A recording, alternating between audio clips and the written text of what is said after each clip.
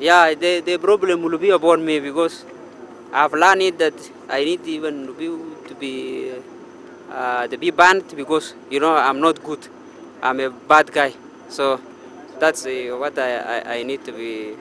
To be So the management of athletics is okay and everything. yeah, every everything is okay in athletics. Everything is okay. Everything is perfect in, in sports in Uganda. Yeah.